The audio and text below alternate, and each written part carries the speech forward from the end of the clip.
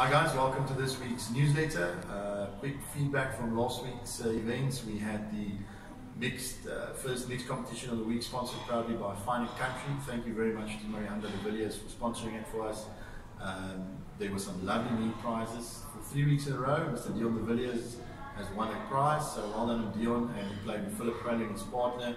Excellent round of golf that they put together, and well done on that meat prize.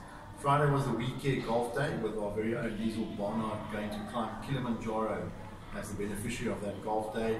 Uh, she's going to climb Kilimanjaro for kids with cancer, so Diesel, well done and, and all the best for that event. Then coming up this week, Mossel Bay SuperSpar. They've got their uh, IPS, or individual stable competition, coming up this week. So uh, come and support that for those who haven't entered yet. Um, some lovely prizes, so it will be really nice to see a lot of our members. And then the big one, we're really excited. It's the Invitational this weekend, uh, Friday and Saturday. It's going to be a wonderful event. Uh, guys like Farida Priya coming through, Van Grief, and we've also got our original designer Peter Matkovich that's in the house. So those you guys that's not going to be part of the event, please come through, and have a look, have a look, welcome some of the old friends that's going to be here. It's going to be a really, really nice event, um, and we'll give you some feedback next week on that. Golf course, as you can see, a lot of fertilizer going down at the moment just to keep it nice and green before winter hits us.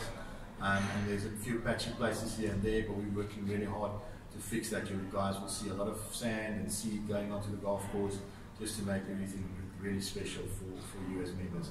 So guys, if you've got any queries or need to know anything, more than welcome to give me a ring or just pop by the office. Thank you so much and have a wonderful week.